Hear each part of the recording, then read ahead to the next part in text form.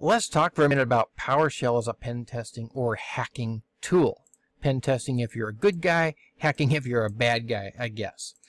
So when we keep talking about PowerShell and how powerful it is and how it can get into just anything in the computer, it makes it sound like, wow, this would be a great hacking tool. Sounds like I could get past all sorts of stuff with PowerShell. Yeah, not so much.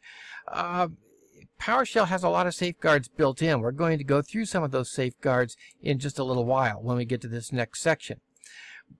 The safeguards make sure that you have the access before you can do really big bad stuff.